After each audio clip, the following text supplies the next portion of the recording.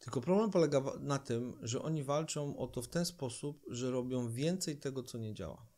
I wchodzą dokładnie w tą samą współzależną tak. relację. Czyli nie wyobrażają sobie życia bez nich, są przekonani, że jakby stracili te kobiety, to umrą. To jest coś niesamowitego. Nie? Tak, no to daje i zaufanie do siebie, i rozluźnienie. Tak. I w sumie stajesz się rzadkim i cennym facetem. Maciej Rogacewicz prezentuje Męskie Spa. Cześć Marcin. Cześć. tym, razem, tym razem spotykamy się u Ciebie tak. w ośrodku apartamenty Bliss. Mhm. Jest to w okolicach Gliwic. No, jesteśmy nad pięknym jeziorem. Można tu przyjechać, odpocząć. I bardzo fajne miejsce. Jest też sala, w której można zorganizować szkolenie. E, szykujesz drugą salę, zaraz będzie gotowa. E, mhm. Siłownia, profesjonalny piec do pizzy no jest y, niesamowite, jestem pod wrażeniem tego miejsca. Powiedz jeszcze, gdzie, gdzie dokładnie to się znajduje? Tak, to jest moja enklawa. Ono się znajduje 50 y, km od Katowic, y, w, w, jak się jedzie na, na Poznań, czyli mhm. za Tarnowskimi Górami. Mhm. Mm, no a, a jest tutaj troszkę jak nam, jak, jak czujesz się jak w Mazurach. Tak. Mm, I po prostu mam dużo ludzi, którzy przyjeżdża tu, jak odkrywa to miejsce to mówią, o, to my jeździmy po 3 godziny na Mazury, a to nie ma sensu, bo 50 km od Katowic jest taka miejscówka. E, I rzeczywiście jest tu super przyroda, cisza, spokój. Mm, ten nasz jakby ośrodek y, słynie z tego, że my raczej nie ma tutaj dzieci, nie ma tutaj zgiełku. Mhm. Staramy się, tutaj przyjeżdżają ludzie, którzy naprawdę chcą się zresetować, odpocząć, i zresetować, zdrowo zresetować, tak? tak? tak Czyli tak. rower, spacer, woda, mhm. e, chillout, książka, tak. e, medytacja i tak dalej. E, ja powiem jeszcze, że nie tylko jak na Mazurach, ale tak jak na Kaszubach też, ponieważ ja mhm. mieszkam na wybrzeżu, mamy Kaszuby, gdzie są jeziora i faktycznie jest tu taki, taki, takie miejsce, gdzie, gdzie od razu się jakby umysł odpoczywa. Mhm. Spotkaliśmy się, żeby mm, porozmawiać, pogłębić troszkę tematy i rozpocząć serię ekspercką. E, mamy trzy tematy, więc e, chciałbym, żebyśmy zaczęli od, od tematu, który się nazywa stawianie granic. Powiedz mi proszę, czy, czy tutaj roz, rozłożyłeś jakby ten, to zagadnienie, widzisz je w jakichś takich etapach, w jakichś takich kluczowych punktach czy momentach, czy bardziej je widzisz jako, jako problem, o którym trzeba rozmawiać, rozkładać na części pierwsze i uświadamiać poszczególne elementy? Zastanawiam się po prostu, jak, jak do tego podejść. Wiesz, to, ustawianie granic moim zdaniem to jest jeden dzisiaj głównych, jest to jeden z głównych problemów takich nie tylko mężczyzn, ale w ogóle społecznych. Mhm. Bo mm, patrząc na, też na młodych ludzi, na to jak wygląda dzisiaj świat, no to jednak wszyscy są przerażeni tym, że mogą zostać odrzuceni. Mhm. I, i, I większość osób dzisiaj, i mężczyzn, z którymi ja pracuję, stara się tak zachowywać, żeby, żeby się w ogóle nie wychylać. Mhm. Żeby być w tym środku grupy mhm. społecznej, całkowicie akceptowanym mhm. e, i ktoś, kto jest bardziej taki samodzielny, bardziej indywidualny, zaczyna być postrzegany jako trochę toksyczny, trochę niezdrowy, że, że mhm. to jest jakiś, że coś jest z tym nie tak. Więc, żeby pozostać w tej przynależności i być taki jak wszyscy, nie wychylać się, musisz zrezygnować w ogóle ze stawiania granic. Mm-hmm. I to przynosi takie bardzo negatywne e, konsekwencje w życiu ludzi. Mm-hmm. I dla mnie jakby odkrywanie samego siebie, poznawanie samego siebie jest ściśle powiązane z tym, że potem stawiasz granice i, i zarysowujesz się bardzo, bardzo precyzyjnie, mm-hmm. kto, kim ja jestem, kim nie jestem, co, się, co jest w ok, w zgodzie ze mną, co już nie jest. I dzisiaj ludzie boją się to robić, a mężczyźni w ogóle boją się tego napięcia emocjonalnego, które temu towarzyszy. Mm-hmm bo każde postawienie granic jest związane z pewnego rodzaju napięciem emocjonalnym, z pewnego rodzaju konfrontacją mniejszą lub większą. Mhm. I mi nie chodzi o to, żeby być agresywny i żeby stawiać granice w jakiś agresywny, przemocowy sposób, ale sam wiesz, że dzisiaj nawet jeżeli stawiasz granice w normalny sposób, to ludzie i tak to postrzegają, tak. że jesteś e, czy przemocowy, czy krytyczny, czy, czy jakiś, bo jesteśmy przyzwyczajeni do tak rozmiękczonego świata, tak. Że ktoś, kto stawia granice, nagle się okazuje, że on jest przemocowy, nie? Tak, wyrazistość jest interpretowana jako coś agresywnego. Mhm, mhm. E, nie wiem, czy to nie jest związane z tym, że e, polaryzacja idzie, albo jeżeli jesteś wyrazisty, to musisz albo muszę się mm, postawić po twojej stronie, albo przeciwko tobie. Mhm. Jest chyba problem z, właśnie z wytrzymaniem tego napięcia emocjonalnego, które towarzyszy rozmowie, dyskusji na przykład, prawda, w tym całym procesie. Mhm. Bo to, że stawiasz granice, to wcale nie znaczy, że y, oczekujesz, że świat się podporządkuje do ciebie, tak? Tylko pilnujesz jakby swojej przestrzeni i jeżeli y, spotykasz się z niezrozumieniem, możesz nawet się wycofać, zachowując swoje granice, tak? A tu ponieważ jest potrzeba, jeśli dobrze rozumiem, mhm. potrzeba akceptacji, przynależności, więc nie może być granic, bo jakiekolwiek granice, to postawienie jakiejkolwiek granicy y, grozi zagrożeniem, czy znaczy grozi zagrożeniem, niesie zagrożenie, że zostanę wykluczony. U młodzieży zauważyłem jest akcja unfollow, Okaz czyli? czyli? jeżeli z kimś jest jakiś konflikt, to od razu y, idzie hasło A, unfollow, y, przestajemy ją go. obserwować, tą tak. osobę, y, albo wyrzucamy ją z grupy na Whatsappie, czy gdzieś tam. I to, to już się zaczyna y, w tak wczesnej fazie. No a, a w ta, takich szerszych mediach to jest ten nawyk canceling, nie? Że, ma, że ktoś, kto przedstawia jakieś niewygodne poglądy, to w ogóle trzeba go... On jest kasowany tak, tak. i się wyrzuca go z pracy, tak. wyrzuca się go z firmy, tak. bo po prostu to, co on mówi jest kogoś uraziło, nie? A y, jeśli chodzi o to stawianie granic, to w ogóle to jest temat y, rzeka, y, nie na jedno spotkanie, bo to jest od, od, rozmowy na temat tego, jak jest prowadzone dziecko, co się dzieje między rodzicami. My tutaj y, bardziej w tematem wchodzimy w, w zakres mężczyzn, co dorośli mężczyźni mogą zrobić z tym.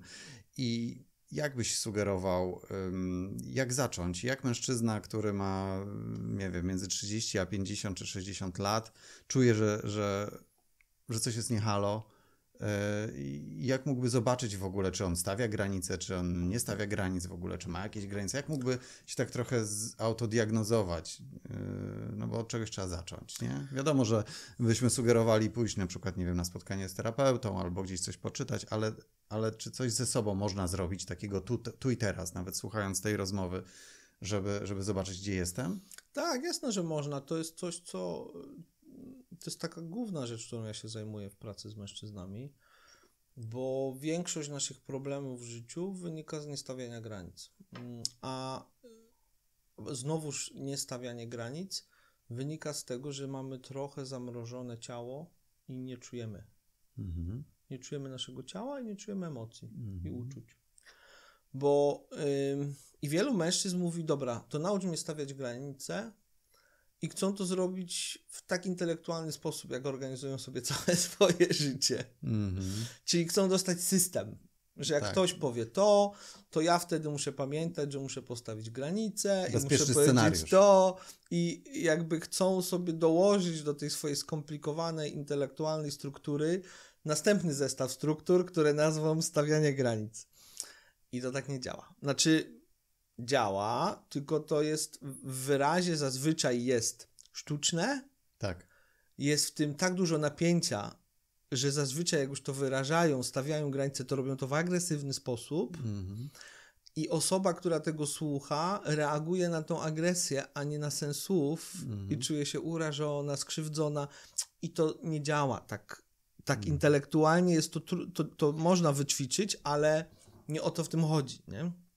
Tu chyba chodzi o to, żeby wejść w siebie jakby, tak? Żeby tak. same prób ośmielić się stawiać granice, a nie realizować zewnętrzny y, scenariusz, tak? Ale też Próbować... chodzi o to, żeby y, zacząć, no bo dlaczego my nie stawiamy granic? Dlatego, że prawdopodobnie w dzieciństwie nasza matka albo nasz ojciec tak permanentnie przekraczał nasze granice, że w sumie nie doznaliśmy pozwolenia w ogóle na posiadanie -hmm. ich. Nie wiemy, że istnieje w ogóle taka one możliwość. Nie, wiedzą, nie wiemy, że one istnieją i nie wiemy, gdzie one są. -hmm. W ogóle y, po prostu zgubiliśmy to -hmm. doświadczenie, bo one były tak wielokrotnie przekraczane i wmawiano nam, że mhm. tam, co ty gówniarzu, tutaj będziesz gadał, tak. słuchaj mnie i tak dalej, i tak dalej, że my straciliśmy naturalny kontakt z odczuciem, kiedy ktoś przekracza naszą granicę i czujemy się niekomfortowo. Mhm. E, I potem trudno jest to zrobić. I żeby to odzyskać, no to musimy nauczyć się, i to jest to, czego ja uczę mężczyzn, zadawaj sobie 30 razy dziennie pytanie. Jak ja się tu czuję?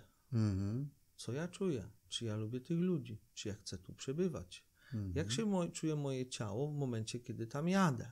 Mhm. Co się we mnie dzieje? I my tak naprawdę gdzieś na, na pograniczach podświadomości i doświadczania, my to wiemy. I, i, I chłopaki mówią, ty, no masz rację. Zawsze jak tam jadę, to sobie myślę, nie, znowu to, Jezu, mm, kiedy to się tak, skończy. Albo boli mnie brzuch, albo... Coś tam albo się dzieje, dokładnie. Nie mogę nie? jeść Albo mamy biegunkę, albo coś mm -hmm. tam, nie? Tylko my to ignorujemy. Tak. I siłą intelektu przekonujemy się jeszcze, jeszcze raz, muszę, no muszę, bo muszę spłacić ratę, bo to, bo tamto. Bo więc, obiecałem. Bo to... Więc tak jak to mhm. zostało stłamszone, ignorowane w dzieciństwie, tak potem my przejmujemy rolę naszych rodziców i sami to tłamsimy i się od tego odcinamy.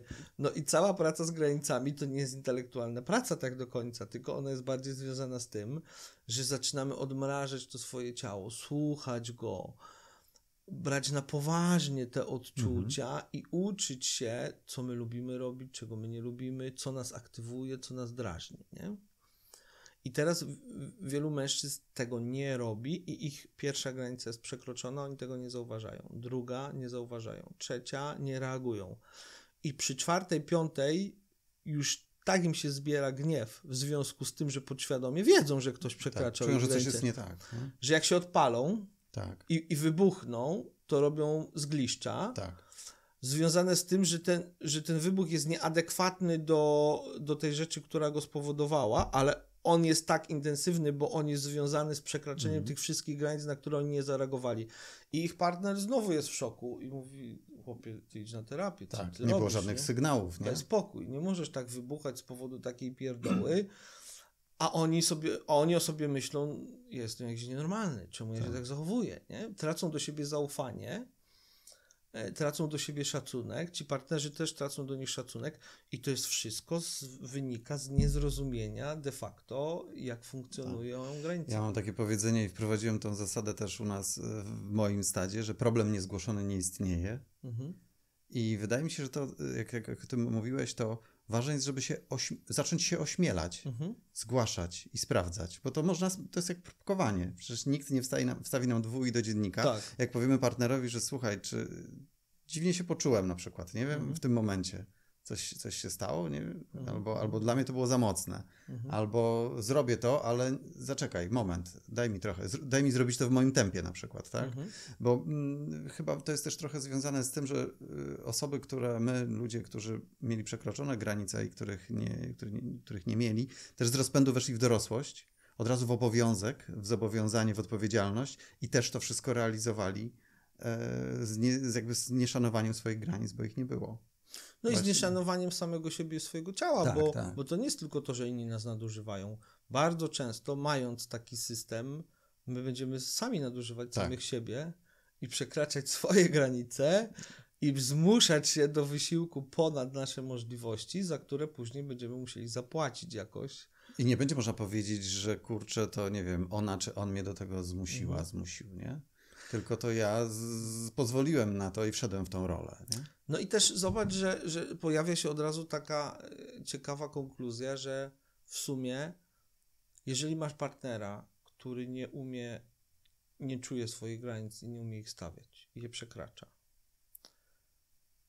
to możesz spokojnie założyć, że on cię skrzywdzi. Mhm.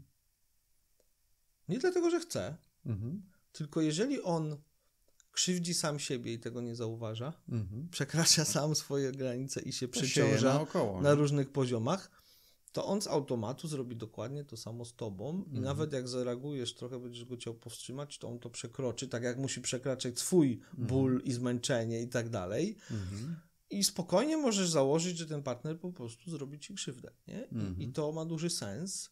I ludzie wybierają sobie takich partnerów i potem są zdziwieni, że zostali skrzywdzeni. Mhm. No ale jeżeli ktoś nie, nie, nie, wykonał tej pracy sam ze sobą i nie odtworzył naturalnego mhm. sposobu odczuwania, gdzie są jego granice i nie nauczył się ich chronić, no to taka osoba nie będzie wrażliwa na tyle, żeby zauważać, że przekracza cudze granice. Tak, i... tak.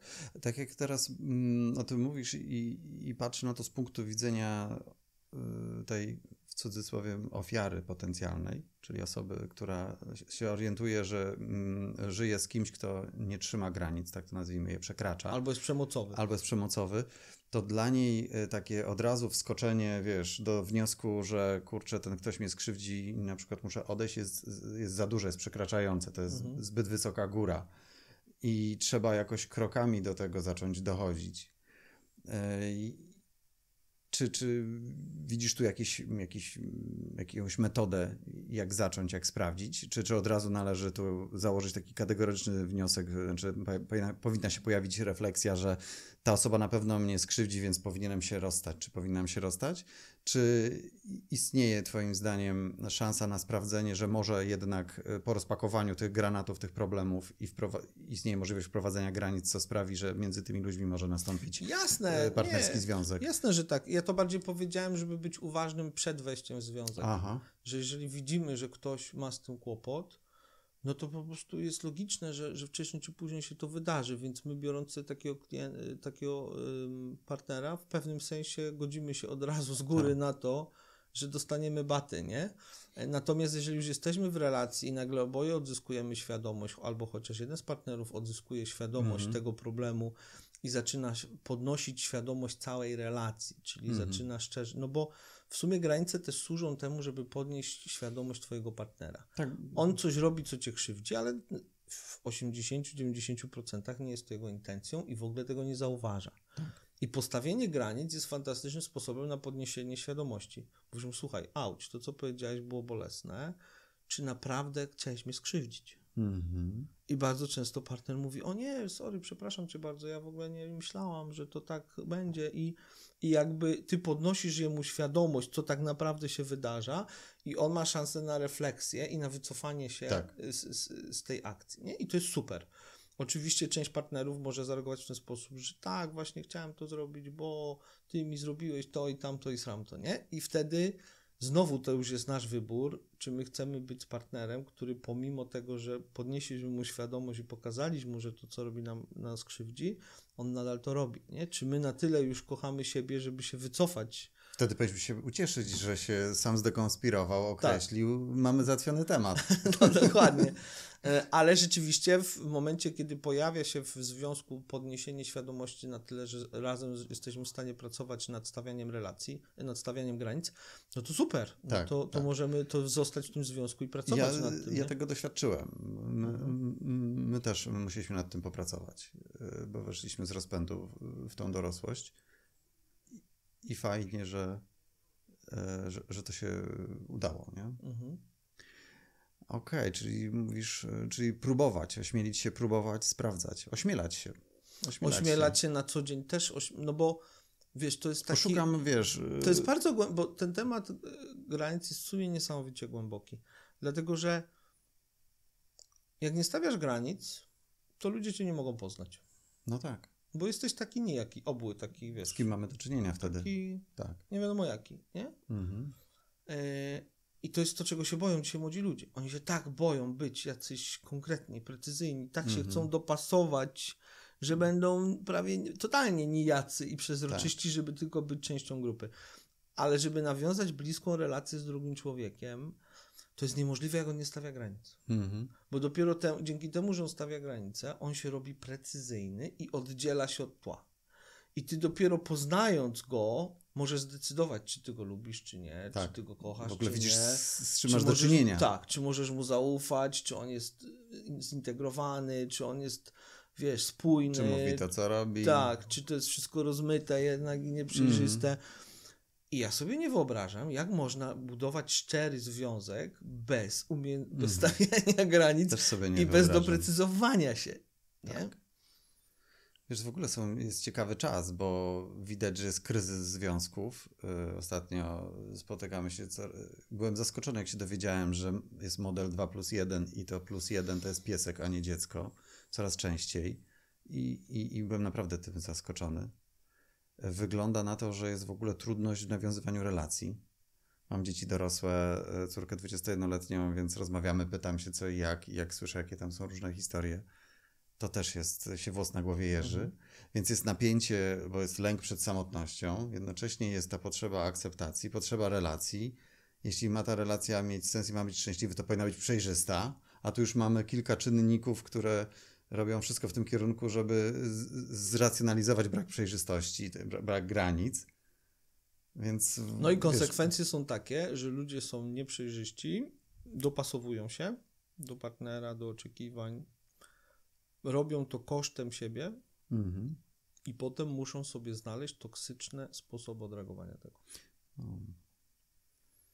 I tutaj mamy różne, włącznie ze sportem.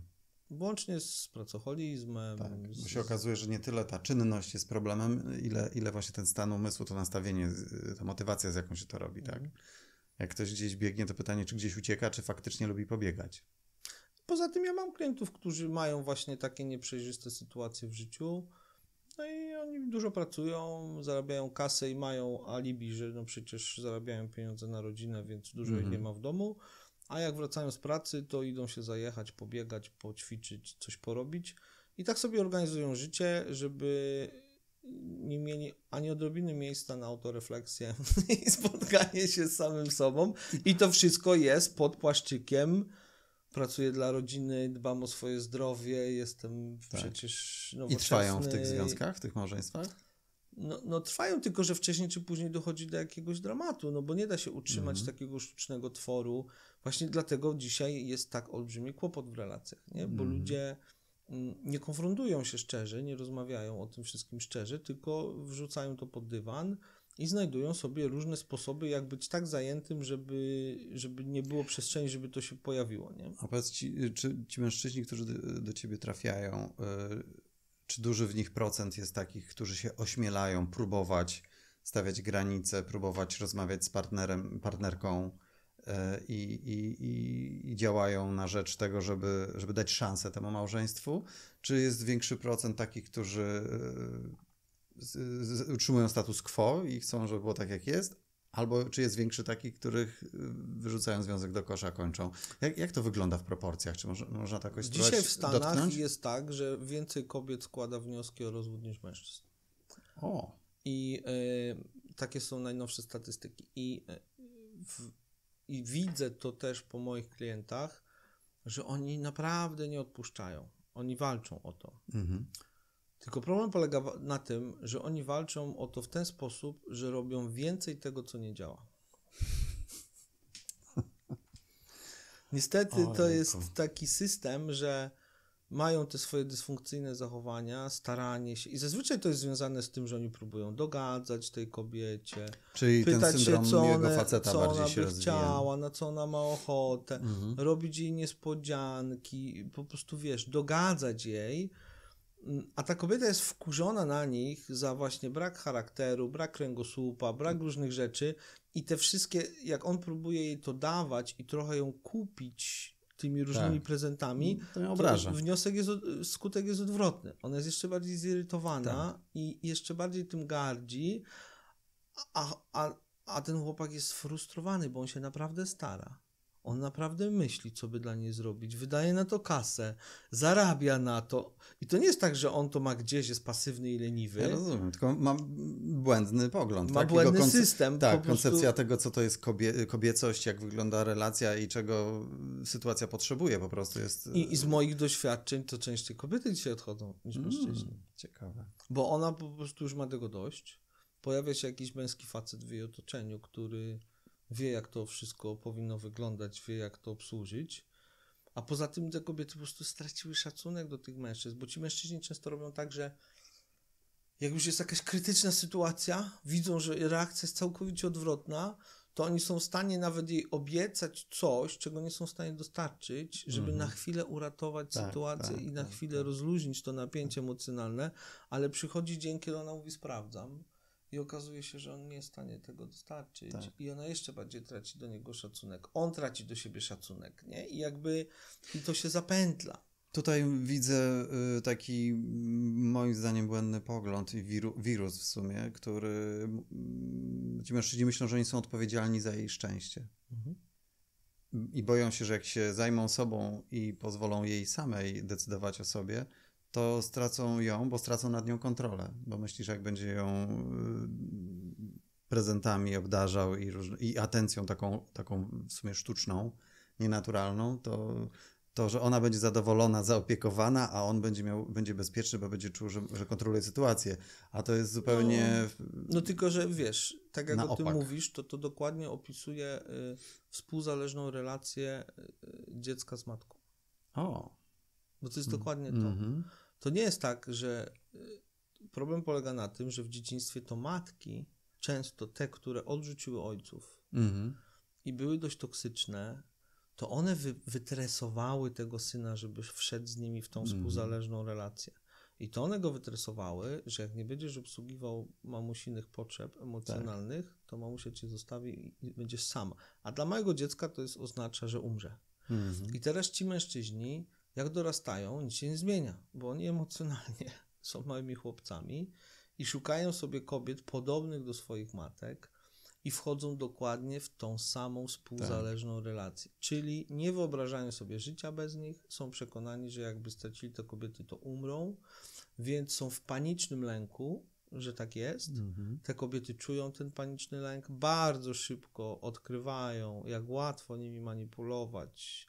Wystarczy mu zagrozić odejściem i on już traci grunt pod nogami. Mhm i, I tak naprawdę no i te kobiety nie szanują tych mężczyzn, oni są sfrustrowani. No i pierwsza rzecz, którą my się uczymy gdzieś tam na męskich grupach jest to, że dopóki naprawdę nie wybudujesz swojego męskiego życia tak, że jesteś naprawdę gotów odejść, to nic nie zmienisz. No ja zauważyłem, że mm, wydaje mi się, tak z mojego doświadczenia obserwacji wynika, postawiłbym taką tezę, że naprawdę zaczynasz kochać dopiero po tym, jak jesteś w stanie sam przed sobą przyznać, że mógłbyś bez niej żyć. Mhm. To wtedy dopiero zaczyna się prawdziwe partnerstwo. I, i, ale wiesz, te kobiety na to świetnie reagują.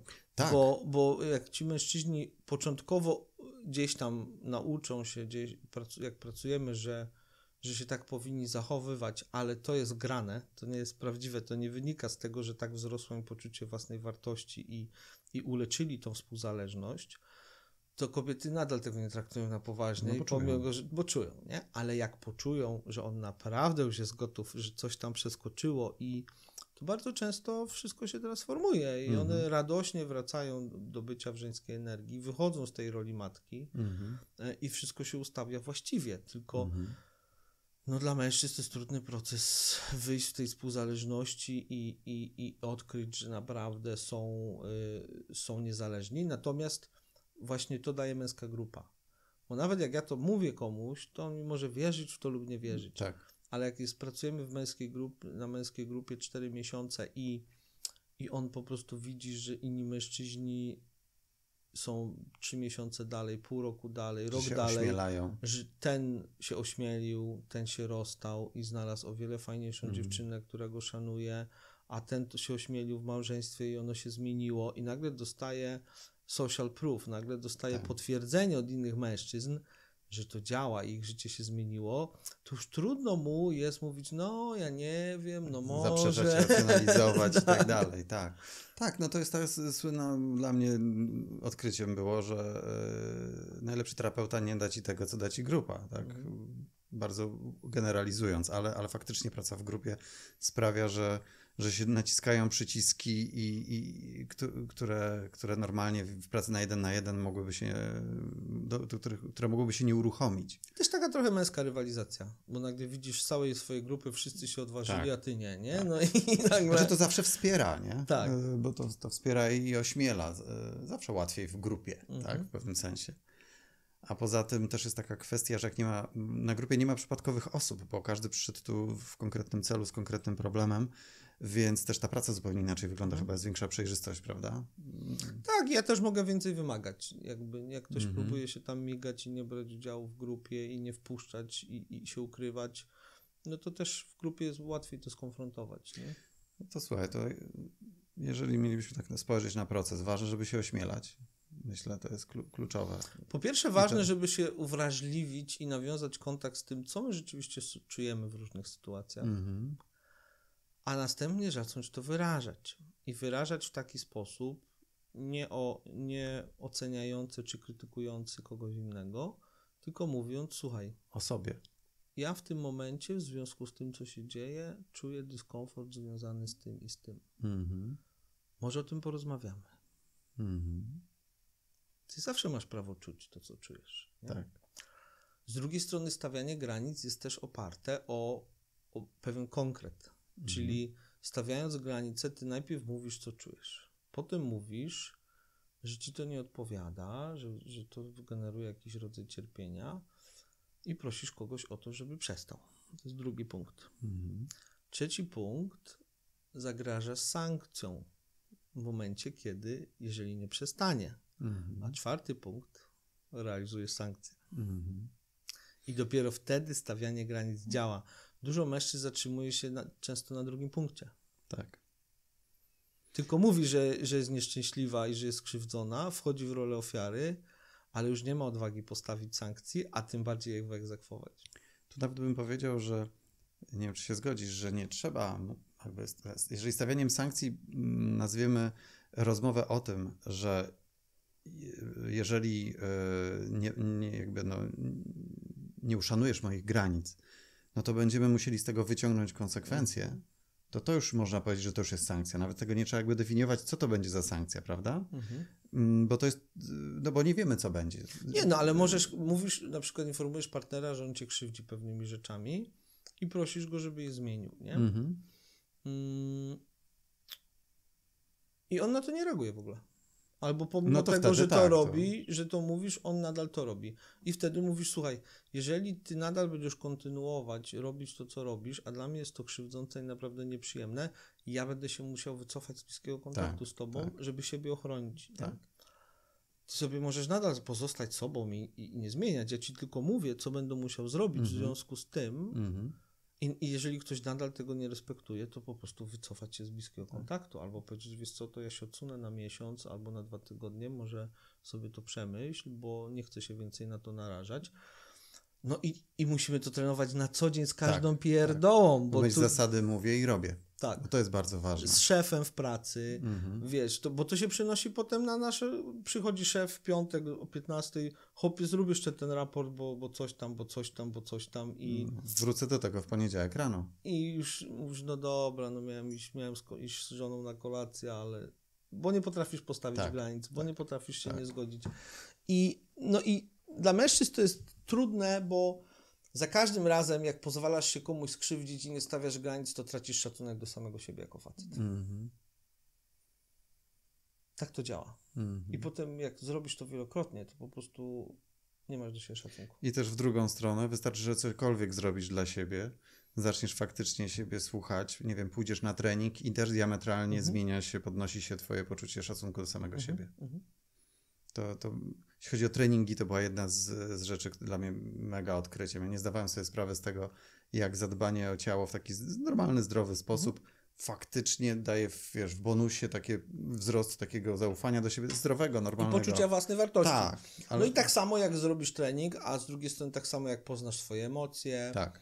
Rozpo, trochę z, popracujesz ze swoim cieniem, ze swoimi tak. różnymi rzeczami i nagle je rozpoznasz, przyjmiesz to też się czujesz trochę jak bohater, że tak. miałem jaja, żeby się temu przyjrzeć, wejść, to wejść te trudne emocje. Tak samo jak czujesz się super, że podniosł, zrobiłeś trening, nie? Przekroczył, nie chciało ci się, bolało, zakwasy, ale dobra. Nie? Tak, z tym, z tym, co mówisz, też z, spojrzeniem w, w, w, cień, tak? Yy, czyli poznanie yy, tych moich yy, rzeczy, które mi się w sobie nie, nie, podobają, zobaczenie w jakich okolicznościach one się wydarzają, co potencjalnie jest przyczyną, i świadoma praca z tym spowodowała, że zacząłem sobie na, naprawdę ufać. Mhm, mhm. Wiesz, cokolwiek się wydarzy, ja wiem, że nie zachowam się jak wariat. Tak. No, no dokładnie na tym to polega. Oswojenie cienia, przyjęcie swojego gniewu powoduje, że my zaczynamy go modulować, że mamy nad nim kontrolę, że staje się to naszym narzędziem, który służy wzmacnianiu różnych rzeczy, a nie krzywdzeniu tak. ludzi przypadkowo, bo, bo po Taka strzelamy super moc wzrasta. Tak. No. Nie? pojawia się wtedy taka super moc, bo ja, ja tak sobie na to patrzę, że zaufanie do siebie u mężczyzny i zgoda na to, na te właśnie też puszczenie kontroli, tego odruchu kontrolowania wszystkiego na zewnątrz i zajęcie się sobą, uruchamia jakby taką super moc, nie? Mhm. No bo to, że nikt ci nie jest w stanie tak po prostu sprowokować jakąś głupotą, to, że jesteś w stanie zachować się jak wojownik i strażnik, gdy trzeba, albo jak jowialny mędrzec, gdy trzeba i, i jesteś w stanie też i poleżeć, to jest coś niesamowitego. Nie? Tak, no to daje i zaufanie do siebie, i rozluźnienie. Tak. I w sumie stajesz się rzadkim i cennym facetem. No właśnie. Teraz to rzadkość. To, jest... no, to prawda. Nie, to jest niesamowite. Zdrowy rozsądek stał się rzadkością. Czy wiesz co, ja, ja, ja cenię sobie to, że wychowywałem się w czasach, w których młodsi próbowali dogonić starszych. Gdzie młodzieńcy próbowali mhm. tam coś starszym udowodnić, być tacy jak oni i tak dalej. Bardzo do mnie przemawia y, taki przykład. Y, Quentin Tarantino gdzieś to o tym wspominał, że w jakiejś dyscyplinie sportowej, zresztą w bieganiu, był koleś, który był najlepszy w lidze amatorskiej. I wygrywał, wygrywał wszystko i y, coach mówił mu idź do, do, do, do mm, ligi seniorskiej, tak, do profesjonalistów, do prawdziwych zawodników. Nie, ja tam zjedzą mnie, nic tam nie zrobię. Idź, zobaczysz, co się będzie działo. No i tam ruszył do tej wyższej ligi, nazwijmy to, i był najgorszy. Ale te jego najgorsze czasy w tej lidze były lepsze od tych najlepszych, mhm. gdy był jedyny i nie miał z kim mhm. konkurować. Mhm. mhm. I to jest to jest chyba te, te, to, coś mówi o tym przekra- ośmielaniu się przekraczania, o, o tym, żeby dążyć do czegoś, o tym takim nastawieniu do rozwoju i, i, i próbie wyrwania czegoś w taki, sposób, żeby, nie wiem, no, żeby być, stać się mężczyzną, tak? Ja, ja tak to wszystko postrzegałem. Mam wrażenie, że teraz tego nie ma. Teraz yy, właśnie jest ten kryzys i teraz yy, my starsi nie możemy być zbyt yy, wyraziści w stosunku, w komunikacji z młodszymi, no, możemy, nie możemy. Ja nie zamierzam z Ale mówię tak, ja też nie zamierzam. Znaczy, ja mówiąc nie możemy, mówię o atmosferze. Mhm. Tak, że trzeba być bardzo uważnym i, i to nie, jakby, to, to, to w czym my wyrastaliśmy i to jak, jak my się przebijaliśmy, teraz nie jest możliwe, nie? No teraz jest postrzegane jako toksyczna męskość po prostu. No właśnie. Ciekawe. Yy, Okej. Okay. Zastanawiam się, czy coś tu moglibyśmy jeszcze dodać, jeśli chodzi o, o stawianie granic, bo temat wiadomo, że jest szeroki, ale chyba y, nie ma sensu iść dalej. Mhm. Ważne, żeby zacząć, prawda? Żeby próbować i żeby. Myślę, że chciałbym, żeby poszedł taki przekaz z tej, roz, z tej rozmowy o, o stawianiu granic, że naprawdę nic nas nie kosztuje próbowanie i sprawdzanie. I że ta osoba, która jest z nami blisko, ta żona czy partnerka, nie, nie urwie nam głowy e, za to, że powiemy, że kurczę, coś tu się dziwnego wydarzyło, bo się dziwnie poczułem. I nawet jak powie, ale zawsze to robiłam i nie, nie zgłaszać problemu. Tak, masz rację, ale teraz zgłaszam, bo doszedłem do wniosku, że tu jest coś nie halo. I czuję, że jeżeli nie zgłoszę teraz tego, nie zaczniemy o tym rozmawiać, to w przyszłości nam związek wybuchnie. Mhm. Że można tak rozmawiać, prawda? Tak, to jest super, nie? I, i, i, to, I to pytanie siebie, tak? Myślę, że bardzo fajna jest e, ta podpowiedź, e, że mogę na każdym etapie mogę siebie zapytać, jak się czuję z tym, co się teraz dzieje, z tym, jaką mam koncepcję, którą teraz realizuję, mhm. czy naprawdę chcę tam iść. Ja też, wiesz co, przyjąłem taką zasadę, że no, jeśli chodzi o jakieś decyzje życiowe, to przynajmniej się jedną noc przespać, zobaczyć, czy się z taką samą jakby energią i entuzjazmem obudzę jutro, mhm. jeżeli to że dotyczy jakichś takich przemian. Tak, tak, tak. E, i w ten sposób uczyć się kontaktu, jak ja to ze mówię, ze swoim sercem, nie? Sercem, z intuicją. Oczywiście, wiesz, nasze ciało jest superkomputerem, o wiele inteligentniejszym niż nasz intelekt, bo gdybyśmy chcieli za zarządzać naszym ciałem przez nasz intelekt, to pewnie żylibyśmy kilka sekund.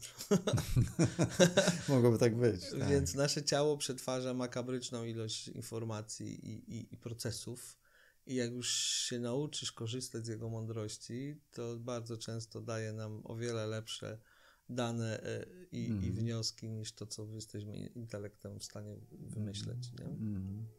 O, myślę, że to jest fajnie, e, fa, fajne zakończenie tego, mm. tego odcinka o stawianiu granic. Tak jest. Dziękuję Ci bardzo. Dzięki.